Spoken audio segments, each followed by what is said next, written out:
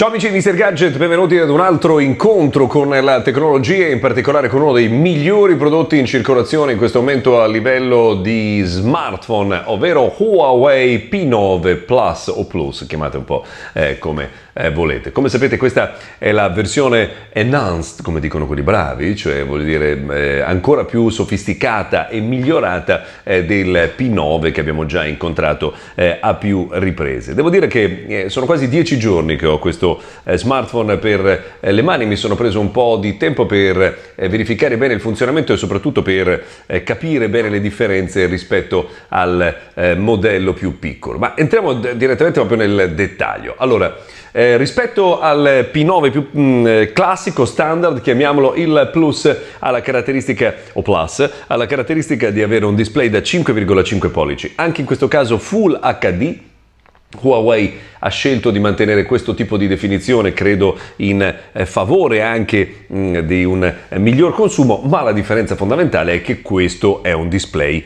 eh, Super AMOLED, peraltro con un'ottima ratio tra la, display, la, dimensione del display e la superficie del, completa del telefono che è del 72,7%.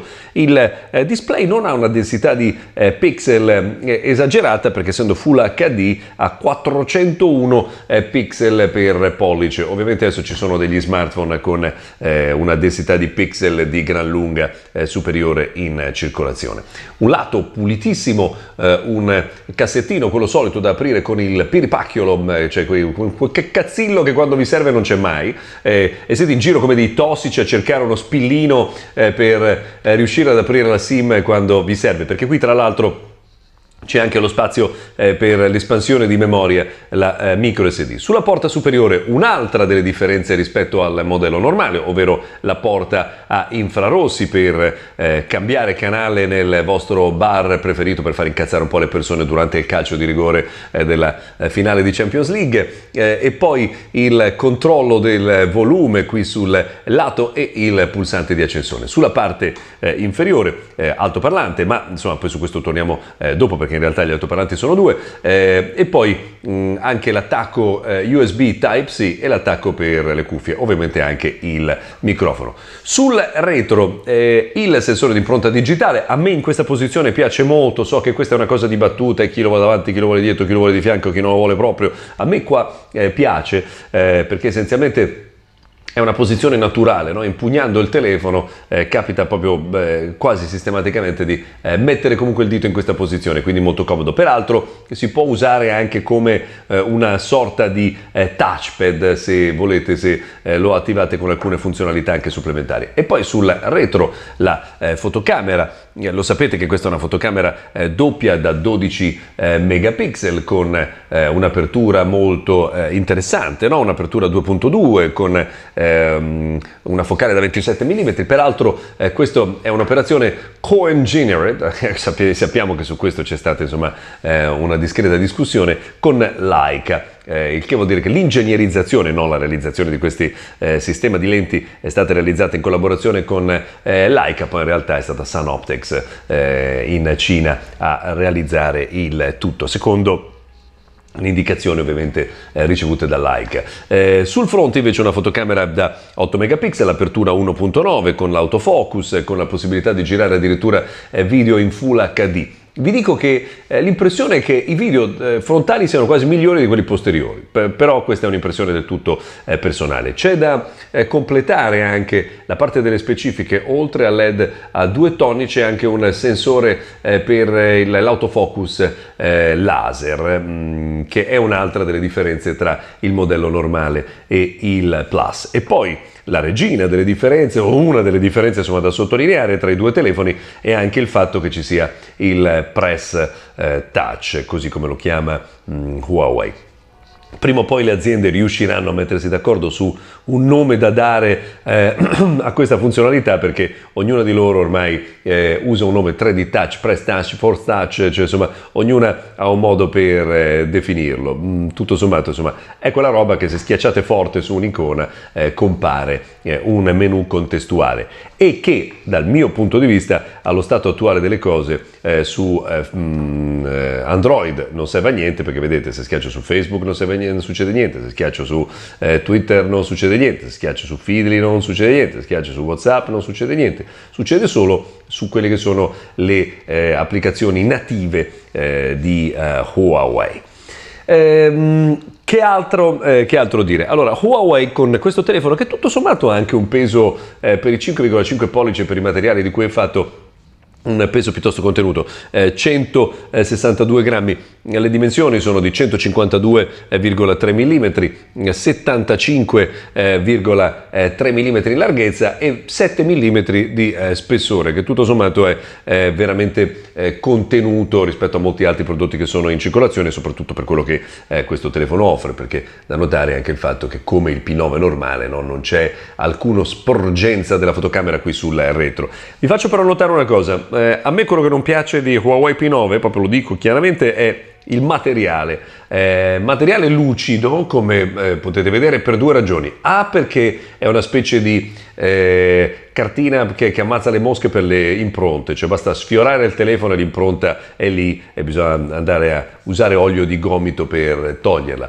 E eh, poi perché eh, rende questo telefono più sdrucciolevole. Eh, questa secondo me è una cosa, cioè, nel senso che l'effetto saponetta con questo eh, materiale è sempre eh, dietro l'angolo. Un po' anche per l'ergonomia di questo mm, eh, telefono che ha con questi eh, angoli così netti, no? cioè non, non, ha delle eh, parti morbide ma angoli piuttosto netti, quindi eh, diventa un po' più difficile da eh, impugnare. Ma il telefono come va? Allora, forse eh, una cosa l'avete vista qualche secondo fa quando ho tentato in pratica di schiacciare, di, di, di, attivare delle cose. Insomma, questa è la, la personalizzazione della home page che potete utilizzare, potete ad esempio cambiare anche il tipo di eh, diciamo, eh, passaggio di, di, effetto di slide tra eh, una parte e l'altra del menu perché sapete che eh, Huawei è una di quelle aziende, tra l'altro la prima forse nel mondo Android, poi seguita da tanti altri produttori, eh, che eh, non ha un cassettino delle applicazioni, no? quindi avete direttamente tutte le icone,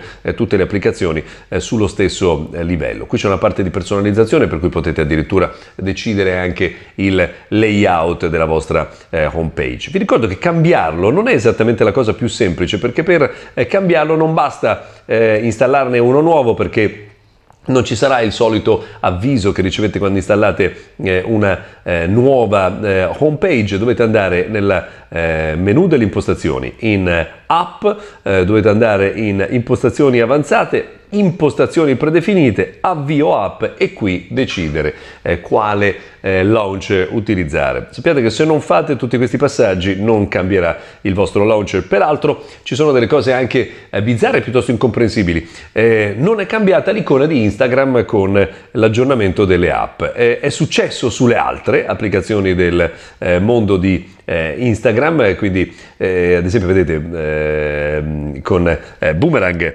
l'icona è cambiata, forse da qualche parte ho anche eh, layout, eccolo qua vedete con layout l'icona è cambiata e per i misteri misteriosi del eh, sistema home di Huawei invece non è cambiata da questa parte. Ma come funziona il telefono? Allora noi siamo collegati in questo momento in eh, 4G con la rete di eh, Vodafone. Vediamo subito mh, mm, qual è il eh, tipo di funzionamento che ha eh, questo processore, il Kirin 950. Eh, sto mh, mm, utilizzando eh, come browser Chrome, vedete che insomma, il funzionamento è discretamente è discreto, c'è ogni tanto qualche saltellino, sarà il processore, sarà il browser, lo scopriremo solo vivendo. Sarà forse anche il fatto che non è ancora completato di caricare la pagina grazie a di alcuni inserimenti pubblicitari. Ma andiamo sul eh, Corriere, così vediamo anche con il Corriere, magari eh, chiedendo direttamente il sito desktop e vedendo un po' come si comporta. Adesso attendiamo sempre che eh, si completi la barra eh, di caricamento, così insomma abbiamo un'esperienza che è più completa. No? Eh, vedete che tutto sommato eh, ogni tanto, io però qui non so mai qual è, qual è il limite del processore e qual è il limite del, del browser però ecco vedete adesso che la pagina è ben caricata insomma tutto sommato sì qualche ogni tanto qualche scattino ma eh, riuscirete no, a sopravvivere a questo genere di, eh, di disastro da parte del eh, telefono. Però in realtà insomma è discretamente veloce. La mh, fotocamera questa è interessante da eh, vedere perché Vi ricordate quanto basica e quanto simile a quella di eh, iOS fosse la fotocamera in passato eh, di Huawei, forse troppo simile, invece adesso abbiamo eh, cambiato notevolmente la situazione. No? Intanto qui ci sono eh, i comandi con cui regolate eh, in versione eh, Pro tutti quelli che sono i sistemi del telefono e io devo dire che funziona veramente bene, ho provato a più riprese delle, degli scatti con la funzione Pro e le foto sono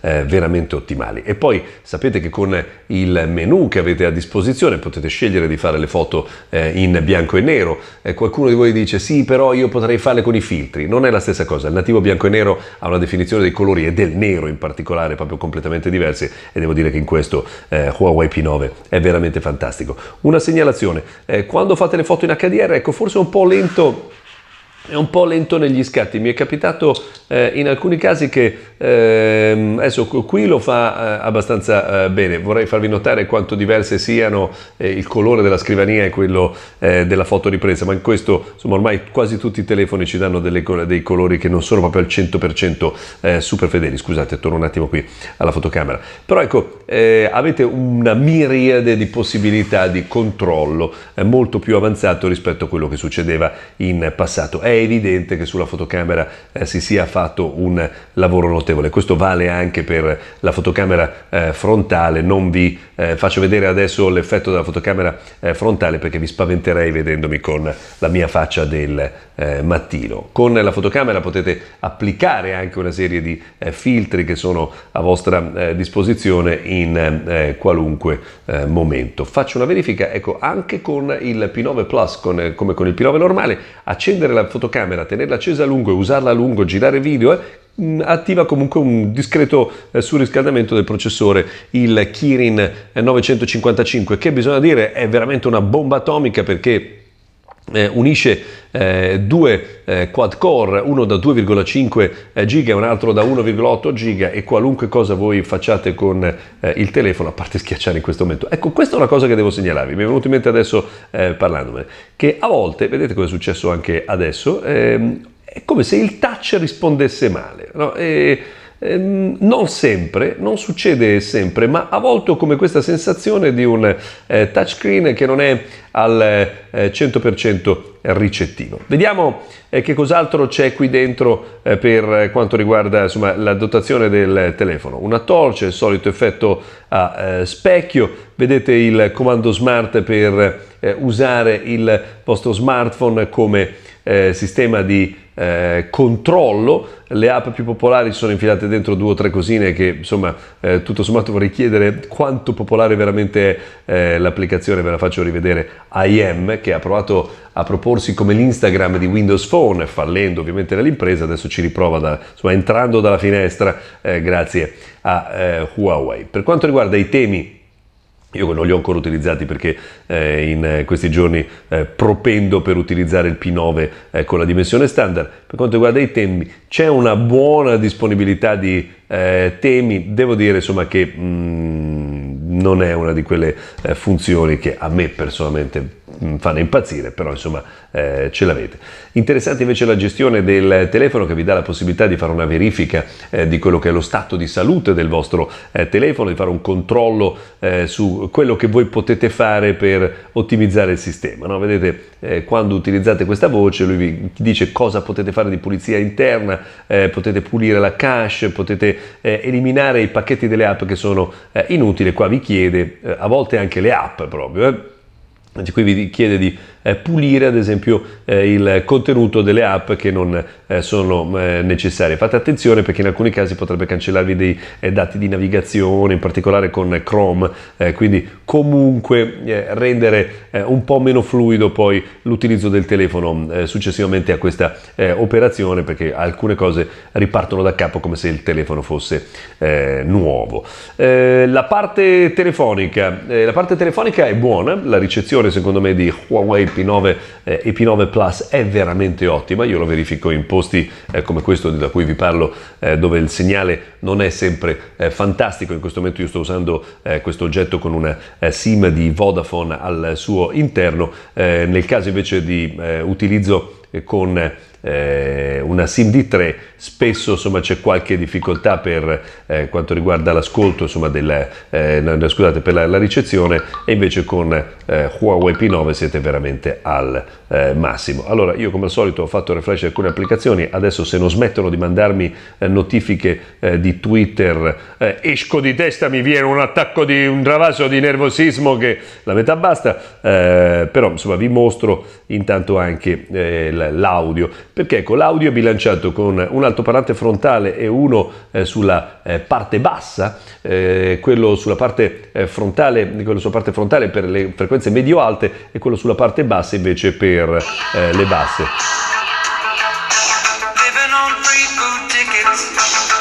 Allora, vi faccio sentire il meno possibile l'audio perché sennò mh, mm, eh, i censori di YouTube eh, tagliano il video pensando che abbiamo violato eh, il, eh, insomma, il, copyright, però vi dico l'audio è veramente eh, ottimo. Mi spingo a dirvi che è un volume addirittura superiore a quello del Boom Sound di HTC e anche dal punto di vista della qualità del suono non ci allontaniamo molto dal Boom Sound di HTC che tra l'altro ha adottato lo stesso tipo di eh, soluzione, no? quindi un altoparlante in alto e uno eh, nella parte mh, mm, eh, inferiore. che cos'altro vi posso raccontare? L'autonomia, ecco, l'autonomia è infinita, 3400 mAh di eh, batteria, se riuscite ad arrivare a sera senza batteria vuol dire che vi devono prendere, vi devono ricoverare, vi devono togliere eh, questa ansia di utilizzare eh, lo smartphone perché con 3400 mAh di batteria uniti a questo display, a questo processore è praticamente impossibile arrivare a sera eh, senza un residuo di eh, autonomia. Se voi, ripeto, riuscite a scaricare completamente questo telefono in un giorno vuol dire che dovete uscire e farvi una vita perché non avete degli amici. Eh, è una cosa eh, matematica. Allora, insomma, un telefono secondo me è bello, bellissimo eh, dal punto di vista tecnico, per le dimensioni io continuo eh, ad apprezzare la versione eh, da 5,2 pollici, però insomma, diciamo pollice su eh, assolutamente per Huawei P9 Plus.